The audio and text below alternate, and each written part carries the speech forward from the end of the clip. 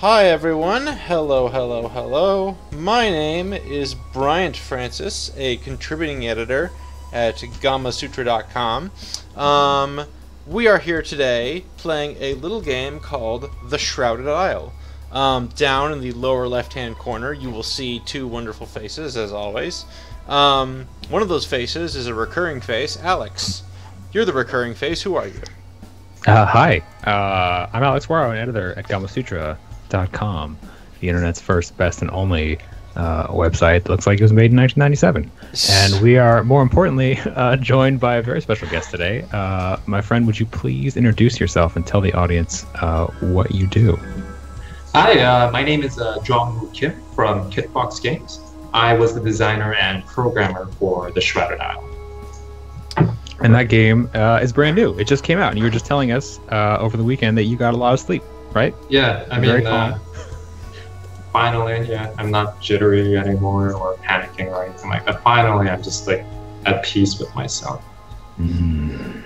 You're at Brian, I think this game is not really about peace at all, right? No, it's about uh, it's about a lot of murder, or it will be about murder, sacrifice. Um, so this is the Shrouded Isle. It is a cult simulator from Kitfox Games, makers of Moon Hunters and Shattered Planet.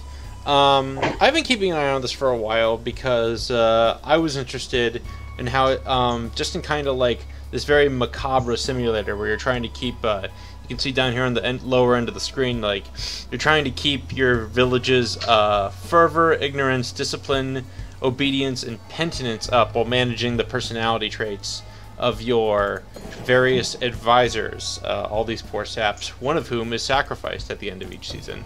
Um, Woo, could you sort of tell us where where did you all start like making this game? Why did you start making this game? And why did you think the world needed a game where you played a murderous cult? Wow, that's uh, quite a loaded question. Um, I'll begin by saying that um, this was part of. Um, this began as a game jam project for uh, Ludum Dare 33 in 2015, and the theme of the jam was uh, "You are the monster." And uh, when we were uh, brainstorming concepts for the jam, uh, we looked at you know having a, just a literal physical monster, uh, but we decided that uh, what's much more interesting is someone who is monstrous, like someone who is morally monstrous, someone who's an administrator that does terrible things for reasons beyond the average person. So that's why we came to the conclusion that the player should be someone who serves a darker power and not the not a darker power himself or herself. And uh, it kind of uh, rolled from there. And so like uh, the game jam entry was called the sacrifice, and it was a very very limited. Uh, probably the, the main common elements are the visual style and the uh, and the, the fact that you uh, have a ritual sacrifice uh, at the end of each season to a slumbering dark god. Uh, but since then, um, it's uh, gotten attention for the theme, gotten attention for the art style, and so forth. And we decided to expand it to a full commercial project. And so, one of the things we did was, uh, for instance, uh, move away from the physical resources that we started with, uh, which were like food and shelter, and decided to go full on towards what a cult leader would care about. And so you'll notice, like as you mentioned earlier, uh, the five uh, resources of the game are all spiritual. Uh, you want to raise the ignorance, the fervor of the village because that is what your religion values in this game. So uh, something that stands out to me in this game, having played all of maybe one or two matches so far, because it just came out, is like how it abstracts the and sort of like um, how it abstracts evil and makes it a very banal, like tedious workmanship like um, process. Uh, and so I, I sort of wanted to. I know I know it's like a big nebulous thing to talk about, but I kind of want to dig into this idea of trying to um, like give give players a reason to be basically an evil bureaucrat. Right. Uh, uh, like, tell me a bit more. Like, how did you how did you balance that as you were putting this together and like trying to figure out like, okay, well, we need a house that ha- that manages like uh, how did like for, just to start with, how did you come up with the five different um, virtues, right? Discipline, fervor, obedience, that kind of thing. Um, part of it was that um, very early on we had um, ideas for these uh, five great families of the town. Mm. And uh, we felt very strongly about maintaining that as part of the core experience. And um, and so we wanted to make sure that uh, that everyone like you felt a need to carefully balance things. You felt a need to keep the Cadwells around. You felt a need to keep the Iosefkas around, and so forth. And and then once we dug deeper, uh, we ended up looking at um, like a classic, uh, you know, like seven deadly sins versus you know the, the seven virtues, and slowly crafted something that is like feels somewhat familiar but twisted. Mm. If that makes sense. Yeah, absolutely. And I guess now that you bring it up, like four of these five virtues could very well be like, depending on where you are in history and, and where you live, like pretty much everything here except ignorance is pretty widely accepted as like a like a like a good thing. So I guess Right. it's interesting now that I reflect on uh, how close I came last night to uh, summoning the dark god. Like, it's it's not so bad, really. Like I, I don't know. I, I, I, I'm still trying to like turn this over in my mind how I feel about playing this game because, um, and something we can touch on in a design sense is like, uh, I I don't recall there being a lot of explanation about what's going on or why. Like booting into the game, it, it has a very like uh, straightforward uh, opening. It tells you who you are, what you're trying to accomplish, and how you do it, and then you just get into it. But you don't really get a lot of explanation about like why it's important that people be ignorant or why it's important that they, you know, be penitent or whatever. And like I kind of want to um, ask you specifically, how did you how did you test and, and refine the um, accessibility of this game? Right, like you might call it onboarding. Like, uh, did you give a lot of thought to how players come to this game and how they learn the systems, or was that not really a, a big priority during development?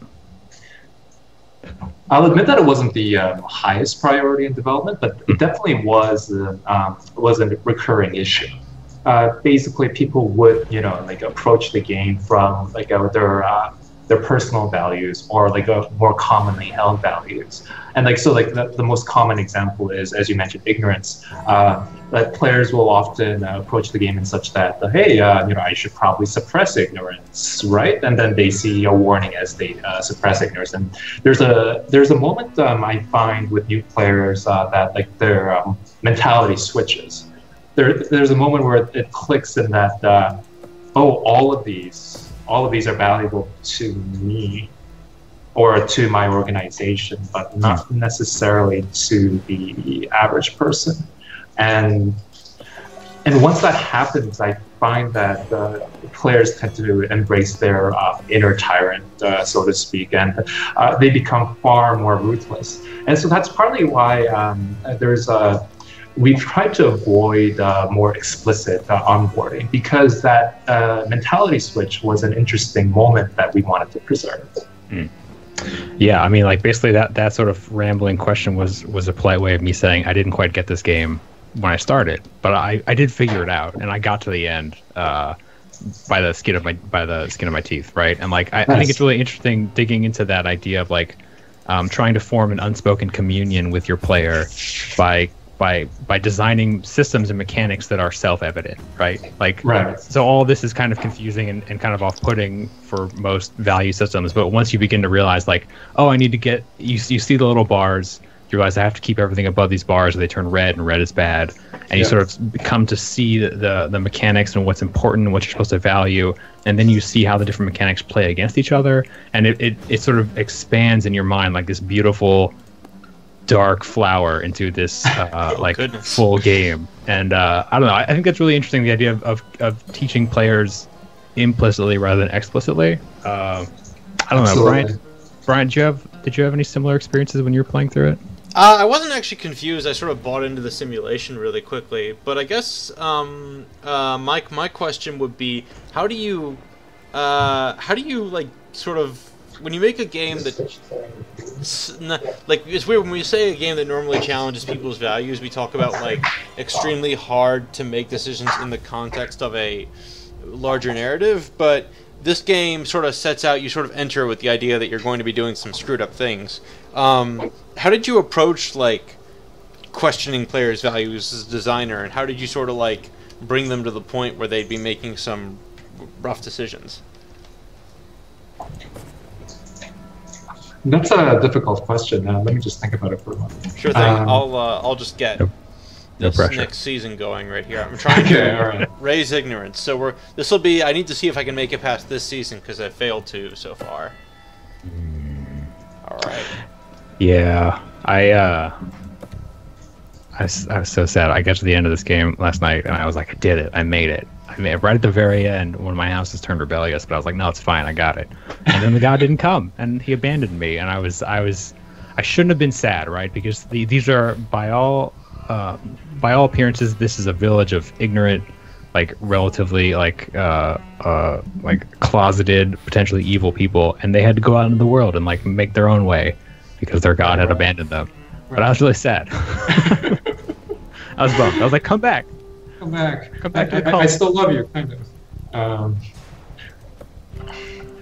so, uh, so the question, Bryant, was um, how do you get the players to uh, buy into the value system of the town? Is that approximately right? Or Yeah. is Yeah. it more go with nuanced? that.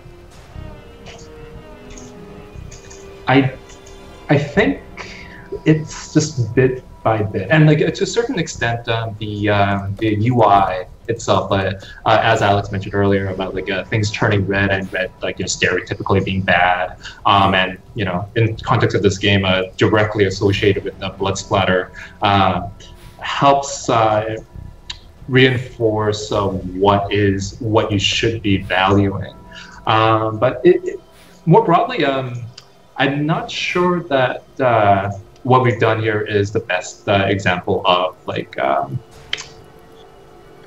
of like let's say like subtly get, getting people to buy in because I mean like I, I'm reminded of like people's complaints about uh, what's it uh, Spec Ops: The Line. Um, and how you know like of course like you know the player ultimately you know like does all these horrible things uh, but the, the only option not to was to turn the game off which is a uh, which is arguably a meaningful option. But I mean, like even in context of this game, there was a moment in development where there were a, a lot of demands for, hey, uh, you know, why do I have to sacrifice uh, people? You know, what if, uh, you know, we just, you know, what if there was an option that you know you don't?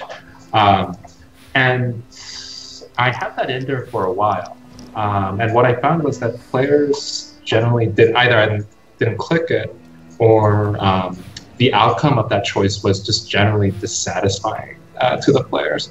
And so I, I guess like in terms of like self-critique, like I, I do believe I could have done a better job of uh, like a uh, respecting player agency and getting them to slowly buy into this universe better. Like I find like the way it is right now, the UI is very explicit about, hey, uh, you know, this is what you should value, and the only way to disengage with that is to disengage with the game itself. So. Yeah, no, that makes sense. I um, we got someone in chat mentioning that uh, just by the appearances, this game looks like it could sort of uh, devolve down quickly into very much like roll the dice and watch the bars move. And I just want to push back on that a little bit for folks who maybe can't see the full game from this, you know, brief snippet. Um, you know, after playing through a game or two last night, and Brian's played through as well, there is certainly like there's a lot of management involved in this game. I would, s- I don't, I don't know, John, what would you would would you call it a management sim or not? But like, it, it has bars and they go up and down. So I guess so, Absolutely, yeah. yeah. But there are there are additional mechanics, and maybe we can get into later in the in the chat about, um, you know, like having to ferret out certain people. Like like there is an implicit reward for ferreting out certain people at certain moments, and there is a random event system that happens, and there's a couple other things that kind of keep things interesting and give you reasons. They they sort of disrupt the player's natural inclination to pick who would be best at a certain job, and then tell them what to do to maximize a certain bar. Right? There are reasons to raise certain bars that are that are sort of outside the systems. Um, but before we get into that, this is a weird management sim. It's like a weird cult management sim with some cool art. Nothing like anything Kitfox has done before. Yeah. I kind of want to talk about that, right? Like Kitfox has done Moon Hunters and Shattered Planet, which are both sure. very different from this, I think. So tell me a bit about like what it's been like to work on that breadth of, of projects and, and sort of uh, I don't know, like like how did that how did that how does that work internally at the studio? Right. Um, so the circumstances for um, the development of the Shrouded Isle is actually somewhat complicated uh, because, um, as I mentioned, it began as a game jam project.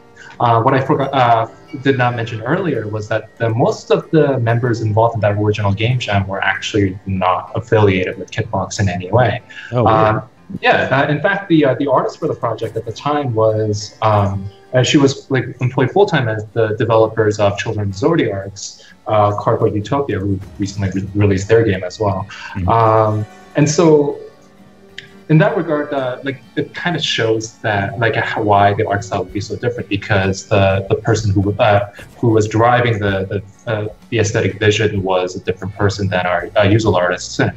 Um, as far as um, how it impacted uh, development, um, a lot of the options that you know we would normally use to draw attention to certain things or um, to uh, uh, to uh, emphasize certain things are less uh, possible because uh, we've committed to this uh, very distinct uh, two-tone aesthetic, Hmm. and so um, it, it's been challenging trying to figure out ways to uh, make sure that uh, everything doesn't blend together. I know that this is important, or like uh, um, this option exists, even you know, or like uh, you might notice that that we rely a lot more on tooltips in this game compared to Moon Hunters or uh, Shattered Planet, for instance. Right. Yeah. Uh, I, I, hmm. So I, I was, I was gonna ask a question about tooltips, but I, I've had I've had tooltips on the brain, which is which is a weird thing to say, right? yeah, yeah, yeah. But I, you know, I recently uh, Pyre recently came out and that used tooltips in an interesting way Oh my well. god, yeah. And that game, uh, Uh, tool. Yeah, sir, go ahead. No, no, uh, you should you should do all the talking. I should just. Uh, Uh, I mean, that game is uh, it's it's pretty brilliant in the way how like they just use a. It's a weird new type of. I, I- don't want to say new in case like someone else has done something similar before, but like it's it's a kind of an environmental storytelling like within that you know the wagon where you just hover over things and you get a sense of what everyone's up to or like what's new. It's, it's interesting. I, I love it actually. Bryant, back me up on this. I am I'm all about storytelling tool tooltips. I love tooltips. I love. Uh, I don't know if you played uh, Jean. I don't know if you played Tyranny. It came out late last year, uh, but I have to bring it up whenever we talk about tooltips. It does something that Pyre does as well, which is Okay. like, it's it's the realization that like oh these these helpful this this system we have to help the player can be used as a narrative device. And Right. uh, and here it's it's actually super helpful in Shrouded Isle because it's like like I said, there's not really any uh, strong guidance about how the systems work early on, so you sort of have to rely upon like kind of ferreting out just, just as you're ferreting out like people who are who are like bad, especially bad people. Or actually, like I guess they're good people sometimes, but they're bad people to you. Uh, you have to ferret out how the game works um, by sort of poking and prodding and everything. And I think that is again like it's a very interesting uh, way of communicating with the player uh, implicitly. Uh, so go ahead, go ahead. I didn't mean to talk over you. I'm sorry. No, no, it's all good. but I mean, um, one of the challenges with that, though, is of course um, the player like critical information and tooltips. Like, uh, for instance, uh, right now, um, the main uh, way you can verify that hey, uh, this um, this uh, trait, uh, you know, being a pyromaniac, for instance, what does it do, is like a complete repository of that is through the tooltips. So you know, you hover over the fervor uh, label, and that's where you see it. Um, I think like uh, we could have we might have been able to do a better job of like representing uh, critical information to the player um, in uh, in a way that's uh, more immediately visible to the, like I've had cases where some players that realize very very late at their first playthrough that hey uh, there's actually really important information like embedded down here Yeah. uh, but I mean, at the same time, though, it's meant to be a replayable experience, and you know, like the the learning process itself, like you know, that initial experience, I think is also very interesting, and uh, you know, part of what the game should be, uh, the implicit uh, communication with the player, as you mentioned earlier. Yeah, and I think uh, it is uh, it's a harmonious piece of work in a way that like um, once you understand bits and pieces of it, that sort of like uh, uh, that echoes, and, and you can you can sort of understand the rest of it by sort of Right. reflecting back, like oh okay, well you know I see why I want to spare somebody here. Uh, I see why this this thing is important. I see whatever, and like I, it's I see why it's important to ferret out virtues and vices. Then all of a sudden later in the game you realize oh those are especially important to know. Um, so that's that's all really interesting. I think um, if we can, before we move on, I kind of want to sort of pick your brain about the art style a little bit more, if you can speak to it. Um, I was impressed to look in the credits of this game. There are a number of artists, like as you mentioned. I assume people who um, are outside the studio, uh, and I kind of want to get a sense of, of where, you know, where the art styles, uh, influences, and inspirations come from. Um, probably the um, we were uh, we were very inspired by uh, Lovecraftian mythos when we were uh, uh, developing this game. Um, so a lot of the uh, the intricate, uh, ornate designs of the game uh, they come from you know various Victorian or Gothic ar- ar- architecture. Um, same same thing with the the way the characters dress. Um, our artist uh, Erica, she uh, she's a big fan of anime, so like uh, some of the visual, like a character face, facial design has like some level of influence from that as well. Mm. I also want to know why you have a cellist and a, I think a violinist in the credits because that was really really cool. How did that happen? Um, our uh, composer and sound designer uh, effects uh, he really wanted to go all out with this uh, project. Uh, he really wanted to uh, he really cares about the, the quality about what he produces. So he insists on doing a live recording the tracks and whatnot. So that's why I, they're on the credits as well. Nice. Yeah, I hope it's coming through on the streams in some way. The music is uh, is really evocative. Uh, yeah. Brian, I, am I'm kind of just like kind of kind of just stomping all over here. Do you have any burning questions? Yeah, sure just thing. have to get out. Jongwoo, could you kind of walk us through how you, as a game designer, think about simulations?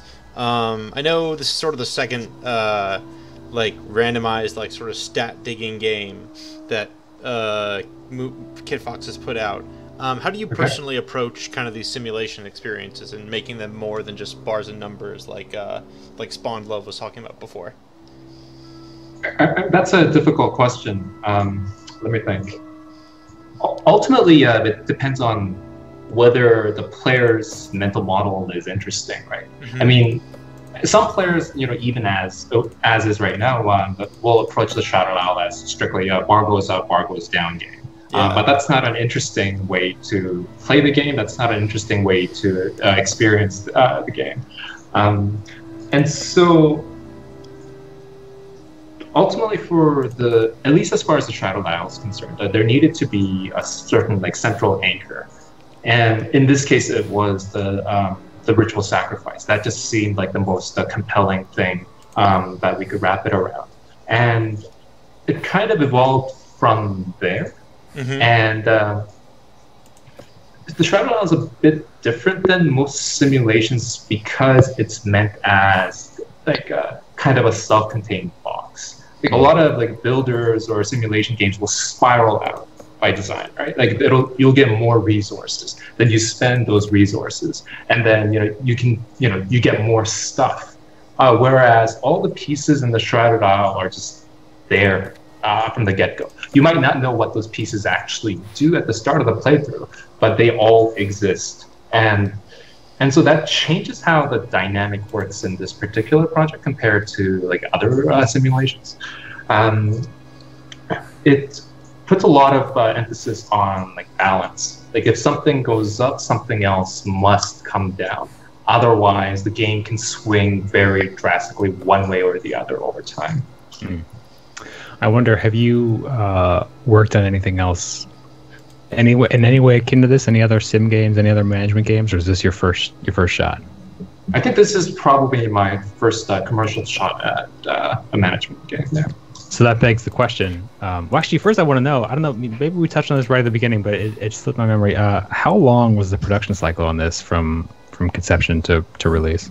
So uh, that's a tricky question because um, this was um, never intended to be uh, a major project for Kitfox. Mm-hmm. This was intended to be a side project, and for the most part, uh, the work that was uh, done for this project was done on a personal time basis. And uh, so, as I mentioned, the uh, the game demo happened two years ago, uh, but the game mostly sat. Uh, the, the concept just kind of sat there for about a year, uh, mm-hmm. and then uh, I think mid 2016 is when we decided to really focus on getting a commercial release going for this project. so, part time basis, about a year or so.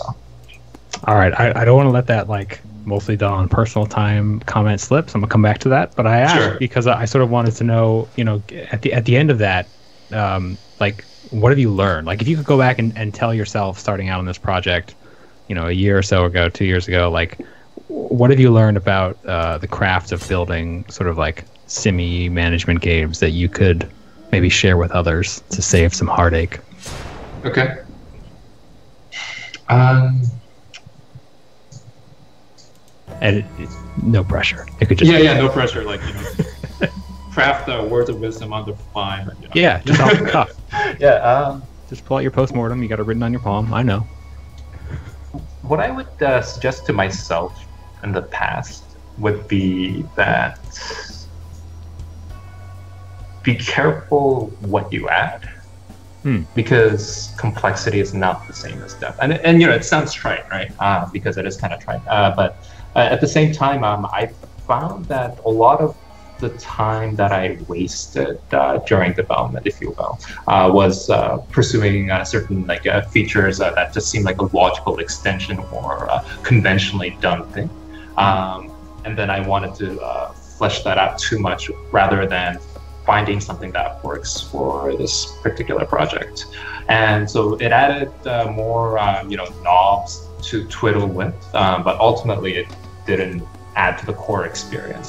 And uh, to get back to what I was saying earlier about the uh, the sacrifice uh, being at the core of this project, Mhm. uh, I think um, if I really emphasize that emphasize that earlier in development, uh, uh, the guy would have uh, saved uh, some heartache, if you will, uh, over um, just removing things that seemed interesting um, on its own, um, but ultimately uh, did not really uh, add to the, the fundamental experience of the game. Yeah, that makes sense. I um, I kind of want to dig into also, you know, now that it's out, you know, the, the actual like the sense, like the business of, of putting a game out like this, and I think that conversation starts with, um, you know, how you, you know, the resources you put into making it. So when, you, when you say it's mostly on a personal basis, like what does that mean? Was everyone working after hours for the most part, or is there a dedicated time at the studio, like a twenty percent time system? Like how did you, how did you and the rest of the team spend your hours on this project, and how were you compensated? Right. Um, so the core members of this project, uh, most besides myself and Tanya, so the uh, um, the artist, uh, the, sorry, the art director and the sound designer for this project are completely unaffiliated with Kitfox. In fact, um, their only uh, connection to, uh, to us is uh, for this particular project. And so, um, even myself, um, I even though I am a co-founder of Kitfox and I you know I get salary from this company, of course. Uh, all the work, uh, sorry, I won't say all of it, but like a significant chunk of this work, uh, the work that was done here, it was expected that uh, it, it's done um, after hours, like over the weekend uh, or like uh, during the evenings and so forth. And ultimately, it proved to be untenable uh, because you know games gotta ship, um, and you know you know person has so much sanity, so to speak. Um, but uh, but that was the intent, and uh, otherwise, uh, Kitfox threw in a lot of resources. Uh, at, like from the perspective of a publisher trying to ship the project. Uh, So, for instance, uh, uh, Victoria, uh, our community manager, is uh, promoting the game uh, during the daytime because it uh, it matches um, Kitfox's role as a publisher. Uh, Tanya, the as head of the studio, does a lot of uh, the business-related things related to the Shrouded Isle during the daytime because, again, it matches uh, Kitfox's role as a publisher in this scenario, and so Hmm. forth. And so it's a, it was a very uh, idiosyncratic deal uh, that um, I I would like to reflect on. Like uh, once uh, you know I fully process uh, everything that's gone on with launch. Um, I personally it was quite difficult at points because uh, I you know I still needed to finish this. Uh, there was still a significant amount of work um, related to this, uh, but at the same time, my um, the official duties uh, during the day were to uh, work uh, focus on a different project. Uh, and so, but it ultimately worked out. So, um, you know, can't complain there, I guess. But yeah. Yeah, I mean, it, it by looking from the outside, it appears to be uh, the product of a, of a smoothly run, efficient, like totally clear and above board, uh, sensical uh, production process. So, uh, good job, congratulations. Well, thank Uh, you. Unlike, So- unlike my decision-making process in this game, which is multi-layered and confused. Now it's fine. Um, I, Jongwoo, um, as one of Kitfox Games co-founders, what do you think is the value of a company putting resources in to release something that might be commercially smaller, uh, but still unique? Like this game definitely isn't like Kitfox's other games, but it sort of has its own unique virtues that maybe uh, were, were that, that made you all make the decision to publish it, sort of? I mean, I think I might be a biased party uh, in responding to that question because you know so much of my uh, you know personal work goes into this. Right. Uh, but uh, I, I feel though that uh, ultimately, uh, as long as like it expands uh, Kitfox's portfolio, expands you know you know players' awareness that you know we exist as a company, we make interesting system-focused games. That's already a win beyond like whatever like uh, like uh, physical motivations for releasing a project. I I think it's mostly win as long as the schedule is, uh, works out. And I would I would think that you know if there were future like personal projects coming out of uh, team members from Kitfox and that um, they would like to get it uh, published to the company, I would like uh, strongly encourage it as long as again like a production schedules actually make sense to do it that way. Yeah, totally. I um I wonder what has been your experience launching a game in 2017 uh, when there are so many games? Uh, in fact, when this game came out, the week this came out, there was a lot of talk going around about there was, you know, three, four, maybe five high-profile uh, indie games, just indie games that been right. released that week. Um, Shrouded Isle has a very distinctive style, has a very distinctive uh, remit. You know, not a lot of not a lot of cult simulator games out there. Um, how, no. so how did you guys, as you were preparing to launch, how did you how did you think about that? How did you think about when to launch it, how to get the word out, and what you, what what returns did you expect uh, in 2017? Uh, so to be completely honest, like as long as the project broke even over time, uh, we were completely happy to release it. Um, as far as the launch window, uh, we tried to avoid uh, uh, like a months where like we expect big uh, you know, AAA companies to release, uh, but we didn't. I don't believe that that we were trying to avoid like simultaneous launches with other indies. Let's say, hmm. uh, and and for the most part. Uh, I think we were fortunate in that uh, when, like, uh, on the like last Friday when we launched, we were able to draw attention presumably due to like the unique concept and art style, and that we stayed at the uh, top of uh, new and trending on Steam for a bit. Um, so I, I, I, would imagine we got lucky and we slid in, and uh, to, to some degree, that's like the merits of the project. But to a large extent, um, you know, I think we also have um, just a fortune to I guess. Yeah, uh, that was that was a nice change. Normally, when I when I uh, bring out some variant of that question, uh, you know, how do you how do you deal with releasing a game in 2016 or 2017? Yeah. There's a big intake of breath, and then often a sigh or a, yeah, right. laugh. Uh, you seem real even keeled about it, and I wonder, um, like, why is that? Like, are, are you at all concerned about um, business as a game developer uh, in like like ever overflowing marketplaces, or do you feel like you guys have found uh, a unique way of staying afloat? I'm not going to say that uh, what's working for us will always work. And I'm not going to say that we're not worried about, um, you know, business situations in like, you know, indie game development, right? Uh, but what I will say is that, that because of the circumstances of the Shrouded Isle and the, the fact that it was uh, we never expected to pay a full team of you know six, seven people permanent salary using this project, and that's right. not what we invested into this project either. Uh, so that takes a lot of pressure off. Like a, uh, I mean, it might just be an expectations thing, but I'm pretty happy with the way things turned out here. Yeah, no, I mean, uh, I apply that philosophy to my life. Low expectations means uh, just generally more happiness. It's a good way to live. uh, but no, that's that's it's cool. I mean, I I don't uh, uh, I I do think Shrouded Isle has a has a really unique premise, and um, you know, we I think we came to it because we know Kitfox's work, which I think is a, is a good way of getting the word out. But I, you're right, I have noticed it be on Steam.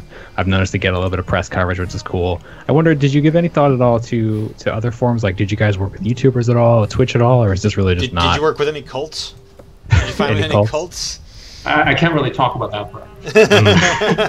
uh, no, but um, uh, as far as the YouTubers and uh, like Twitch streaming, uh, uh, Victoria, our community manager, has reached out to um, various streamers, and so like that's definitely been a part of our promotional effort. Nice. I um, I want to know why you can change the villager names. I like that. I didn't see a reason why to, why I'd do it, but I did it anyway. Why? Why is that? it was uh, one of the um, earliest uh, feedback for like requested features. Wait, And, people uh, wanted to kill their friends? Well, that, that's the thing. So, like at a conference, right? Uh, so let, us say like we're showing this at like PAX South or PAX West or wherever, and then like you know a bunch of uh, you know friends would come over and like you know they'll like you know get the game essentially. Um, they'll grok it, and then they'll yeah actually want to kill their friends. Or uh, from a streamer's perspective, when the streamer would come by, they would ask, hey, uh, you know, like I'd like to reward my uh, audience, uh, my followers by you know like renaming some of the townspeople as them, and then you know presumably kill them at some point. Uh, and, and so it, it was an interesting request, um, but uh, you know, here we are. Uh, one interesting way I found players use it is to take notes. Uh, so uh, it's like uh, you know follows orders. Blackborn um, is, is, becomes the new name of that character because you just want to keep track of that person. Huh. Wow. I didn't, that's I didn't think to use that at all. It's a good idea. Um, let's see. There's a question in the chat that I'm just gonna scoop up real quick. Spawn Love asks, "Did Kitfox ever consider that the dark or evil subject matter might turn away potential buyers or turn up bad press?" Yep. I don't know. I mean, like that, that's the reality of the situation.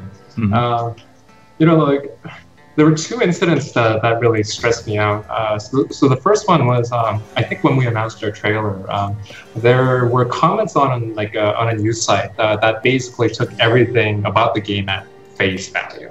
Mm. And so they thought we were like, uh, you know, this is a political message on our part, which, uh, you know, we do not endorse, like, you know, uh, the uh, actual, uh, you know, morals, like uh, moral values of this town as, as a company, you know. Um, but some people took it that way. Um, nothing, no splashback happened as a result of that, but, you know, that was a bit concerning. The second time was um, when we were showing this game at in Kuwait for their game expo, Mm. and um, so uh, you know, like uh, the sheik uh, who was uh, hosting the, like who uh, funded the event, was going around uh, shaking everyone's hand and getting an explanation about the game, and I, I was in the position of having to tell him that yeah, this is a human sacrifice cult simulator. Uh, to like one of the most powerful people in that country. So for sure it's been a concern for us, um, but uh, for the most part, the players seem to understand that uh, we are not endorsing the views of the game. Uh, in fact, uh, this might be a critique of you know certain organizations that may uh, behave in this manner. Wait, how Wow. did how did the sheik take that? Oh, You he- left- he you left the was story hanging off there. Yeah, yeah. I mean, like he thought it was like super fresh. Uh, you know, he was really compelled by the concept, so that was a huge relief. He, he just he just mimed a chef's kiss and then kept walking. Uh, what was it like in Kuwait? Like uh, showing games in Kuwait? Like how long were you guys there? Did, did you have the game localized at that point, or was it still just in English? Or It was still in English, um, but uh, we found that um, the audience there is uh, mostly fluent, um, and therefore uh, they were enjoying the game regardless. Uh, Kuwait was really great. Uh, we were there for a week. Uh, the, the event itself was about uh, three days or so, but the, the host, uh, um, yeah, like uh, they uh, uh, gave us lodging and food and such, and uh, they were amazing hosts for a week. Yeah. did you get any sense of like what the game scene is like over there, either for players or for developers, or not so much? They, the development scene there is uh, still in its uh, infancy, so to speak. Um, like uh, there are talented people, but um, I, if they organized as a development community, I, I think uh, they will grow very quickly. Um, as far as the players, um, it seems that like a lot of them, um, because um, a lot of the uh, major uh, publishers or uh, platform holders, uh, they don't have a Middle Eastern branch. Um, they are forced to uh, have American accounts, or they're forced to have other like you know Western accounts instead. And uh, so there's a sense of being underserved. There's a sense of uh, hey, uh, you know, what about us? You know, like there's like millions of us, and yet uh, you know you don't localize to Arabic. And as I say that, I feel a bit embarrassed because the Shrouded Isle did not localize to Arabic, although that would be a candidate for like a future localization if we were to look at that. Hmm.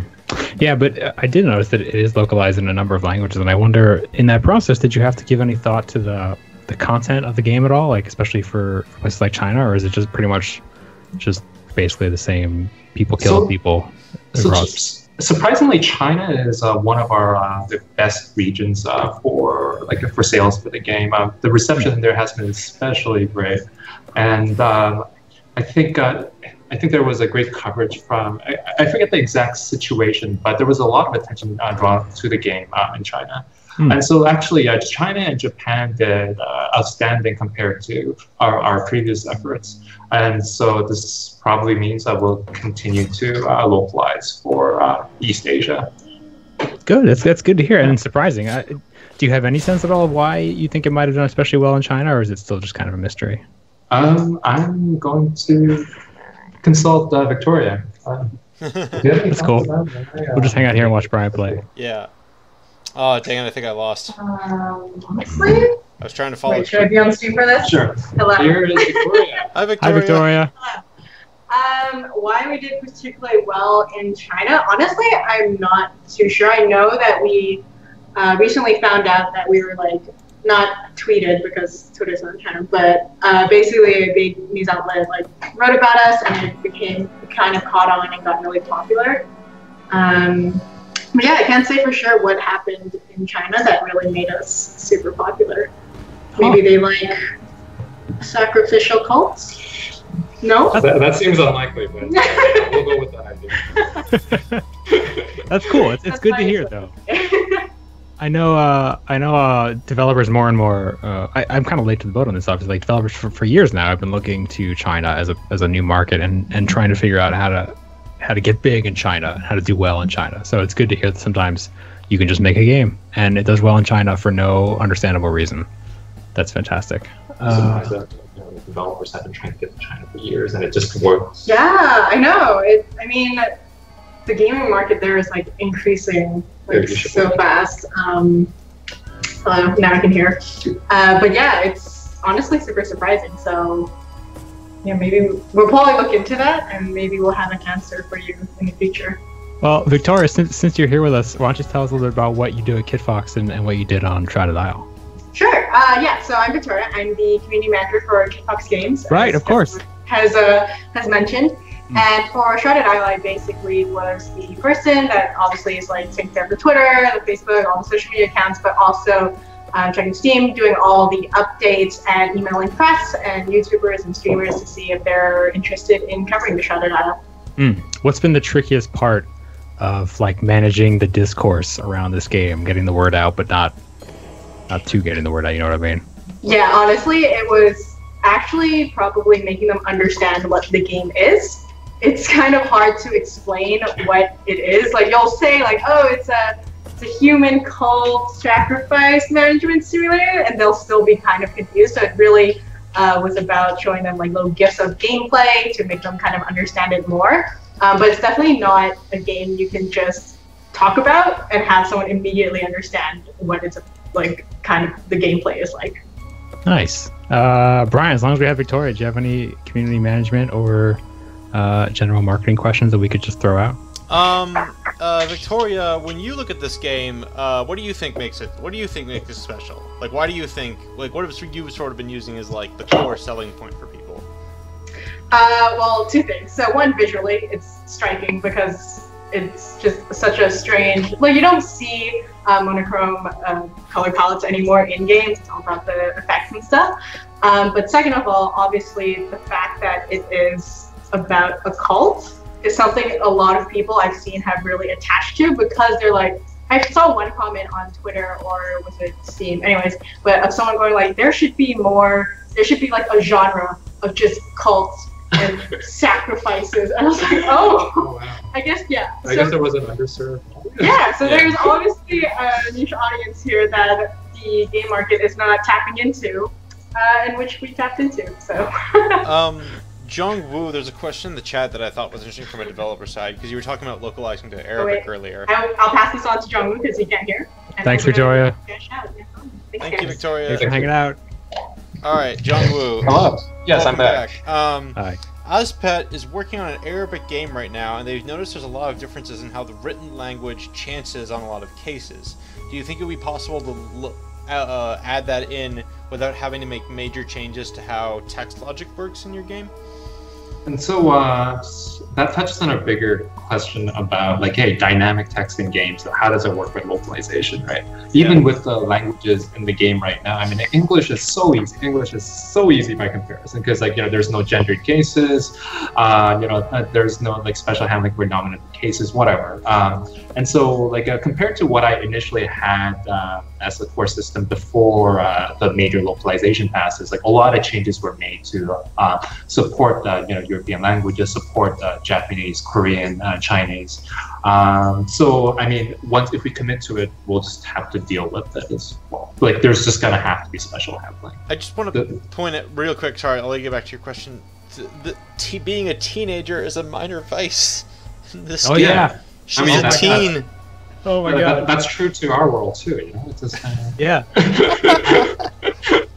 I have a fantastic screenshot where it's like I- I'm clicking, I'm I'm making the choice between sacrifice and spare, and her, she's she's like a she's like an arrogant teen, and I was like, oh oh no, that's just that's just everybody. yeah, this is That's just every- parenting right now. Yeah, exactly. Sorry. But I um, sacrificed have, it have you dealt with any cases where localization wound up affecting um, uh, text logic in your game? Oh, yes. I mean, that was basically uh, my life for the last uh, month or so. Oh. yeah, yeah. I mean, like, there were a lot of. I mean, so in retrospect, I made a lot of assumptions that I should not have made about, um, you know, how like a, a text, like a line of text is displayed in the game, and how easily it would be to switch out. Um, and but yeah, like in a lot of cases, I just basically needed to get the uh, set up a template that the uh, the localizer can adjust however they wish. And then, uh, or if that didn't work, there just had to be special handling for that particular language. Right on. Uh, we should probably wind this down. Yeah, we only we- have 10 minutes left, so if you have questions in the chat for Jongwoo, please uh, toss them in so we may ask them. I'm just gonna watch this animation for a second because I don't remember if the sacrificer is gendered or not. I don't think he. I don't think they are. Right? Like, there's a lot of you can just sort of. Uh, I, I I really like the art style in this game. Uh, I think it's super interesting. I feel like we've already mined that that topic for a lot of good questions. Um, but I, I, I kind of want to know uh, why like why why monochrome like why why go with this palette is that something you had any influence in Jongwoo, or was it pure artist is it just all up to the artist and they just went It was definitely uh, Erica, uh, the art director for, for the project. That she was the one that chose uh, this particular style. Um, there were a lot of circumstances uh, leading up to that. Um, so the game jam that we did was actually, uh, I believe, the ninth or tenth one, like in that year. Um, and so uh, some of those she was involved, and some of those she weren't. But it wasn't like you know, like it was something that we were doing regularly. Um, and she wanted to find a style that was uh, both efficient as well as uh, challenging and also you know visually like distinctive. And uh, so she's like, okay, so what if I you know use very very strange colors and you know and just use those two? Uh, let's see what happens. And this happened. it's good i like it a lot it's good uh questions we i we, we kind of wanted to know about maybe how you guys approached your um the business of releasing this game across multiple platforms did you guys i noticed you're on steam are you on itch as well But- We are on itch. Yes, we are on itch. so like i, I kind of wonder as we um as we watch developers uh sort of spread across platforms as itch kind of like gets a higher and higher profile uh like w- what what's behind that decision like why why go to both platforms what what does each one give you as a developer that the other one doesn't and sort of like i kind of want to get your perspective on that uh launch split if you will Okay. Um, fundamentally, uh, Steam is still the most important platform for us. Um, but it's always a question of like a effort or like a time or money versus the value of being on that platform. And as much as possible, we want to be on as like many platforms as possible. Uh, in the case of Itch, they make things so easy to just upload a build there. For our DRM-free platform, it is probably the the easiest, the most successful for both the developer as well as the player. Um, so since it took very little effort for us to do it, like it's a question of why not. Some players will just not uh, buy things on Steam because it has DRM by default. Um, that's so that's why we're there. That's why we're on itch. Yeah, uh, I'm a little bit embarrassed. I got to admit. First of all, that's interesting, and I appreciate you sharing that. But there's a question in chat that makes me realize we didn't really touch on an important piece of this game, and we're Okay. running out of time. Which is like, uh, as far as I know, it's it's in some part or wholly procedurally generated, right? I mean, like which traits people have and that kind of thing. That's not Yeah. fixed. So someone in, in chat, Spawn Love is asking in chat, like, how do you feel about the idea that community guides and wikis will inevitably catalog the entire game and do away with some of the exploration and decision making? And I think that's probably possible, but uh, I think a lot of it is just different every time you play, right?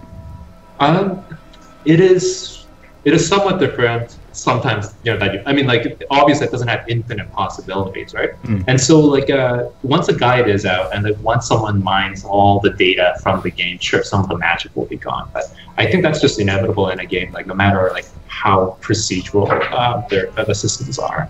And so I'm at peace with it. Um, I'm I'm happy if you think you can, you know, catalog everything in the game and how it affects everything in the game. I mean, that might take out the fun for some people, but for other people who really want to maximize things, that's fun in its own way. So, I'm okay. Yeah, sounds good. Uh, am I am I overestimating the amount of procedural? I, I got the impression just again by playing a game or two that uh, the characteristics seem to be randomly assigned, and maybe even the the requirements that you get seem to be randomly assigned. Is that not on point? Is there is there That is on point. Okay. Um, so the uh, all the characters and their traits are generated at the start of the playthrough, Hmm. and the dreams that you encounter and the events that you encounter, um, they're all like randomly selected. The requirements will change uh, dynamically over the uh, over the playthrough. Um, at the same time, I, mean, I won't claim to have like uh, the complexity that Dwarf Fortress does by like any stretch of the imagination. So yeah, It, it does seem like ProcGen or, or some permutation of that uh, approach to game design has become a hallmark of Kitfox games. Um, I think for the better. Like I think I think it's cool. I think I think games like this are cool. I think it's cool that that kind of technology can make games very um, very uh, interesting and replayable and kind of uh, uh, you know sort of intriguing for a relatively small team. You know, uh, so I wonder Right. like. Um, I guess first of all, have you ever worked on a game that's not in some way procedurally generated or has some some level of that, or is yes, yes, I have. Yeah. yeah? So what what is it that uh, appeals to you about that approach versus a more standard like, uh, for lack of a better word, like uh, content creative, just like putting stuff into the game? I think um, part of it is uh, the development itself becomes more interesting. Uh, Hmm. it, it becomes risky in its own way, but uh, but it's just interesting to see like uh, things being different uh, while you're actually making them. Um, so there's a bit of a selfish desire in that regard. Um, but beyond that, um, there's I guess like yeah, there's like this like uh, like a sense of a holy grail in that you know if you made a game, should why is it not infinitely replayable? Hey, why didn't you create an entire world in there? Wait, why Mhm. couldn't you do that? And that, so let's say that you know we can't create an entire world, um, but let's say you know we can create a piece of that world every time. Um, if we can do that, why should we not do that? And th- there's very good reasons not to, depending on the case. Um, but um, I think that's the mentality, and that uh, why shouldn't we like uh, see what possibilities we can create given you know these pieces and these ideas? Yeah, I think I think there's some shadow of the joy and satisfaction and, and promise that is in a game like Shrouded Isle in the process of procedurally generating a game, right? Like the idea that if you just tweak the right values and get the right things like lined up and make sure these numbers are, are high enough and these numbers are low enough and, and like you you can build a perfect game engine that will just produce these worlds without any weird uh, Right, right. or mistakes. Uh, Right. No no Uh, red bars. no red bars. Uh, yep, that's the dream. Um, and you know, if we even like scratch the surface of that dream, I think it's still very interesting. I agree. I think it's neat. Um, Brian, you got any final questions? I don't want to run off here. Uh, I think it's a good time to start wrapping up. We'll just uh, finish up this season here. Um, thank you everyone for watching the Gamasutra Twitch channel. Um, it's been a delightful time talking with Jongwoo today. Um, again, the game is The Shrouded Isle, out now on uh, Steam and itch.io. Um, I have been Bryant Francis, a contributing editor at Gamasutra. Um, and Alex, who have you been? Oh, hi. I've just been Alex Wawro, um, an editor at Gamasutra. Uh, and we've been joined by two very special guests. One of them's already gone, but Jongwoo, who have you been, and where could people uh, catch up with you if they want to follow your work? Um, so I'm Jongwoo. Uh, I'm a co-founder at Kitfox Games. And uh, so if you want to follow us at Kitfox Games on Twitter, or uh, if you want to look up the Shrouded Isle on Steam or itch.io, please, uh, you know, we'd be happy to uh, hear from you. Nice. All right. Uh, And with Brian, can you can you do all the things? Yeah. I'm, I'm just yeah. Yeah, Okay, oh, and while cool. you're at it, All right. if you could please follow the uh, follow the Gamasutra Twitch channel, we would appreciate it. Um, I'm going to. Uh, ooh, this is bad You're not killing the embezzler? I mean, like, why would you not kill the embezzler? because they're. Oh, I guess they'll be dissatisfied. Yeah, it's a good time to kill her. All right. Well, kill her and then get out. That's a good way to end the show. All right, everyone, follow All right. the Gamasutra Twitch channel. Uh, she's gonna die. Bye. Bye. Bye.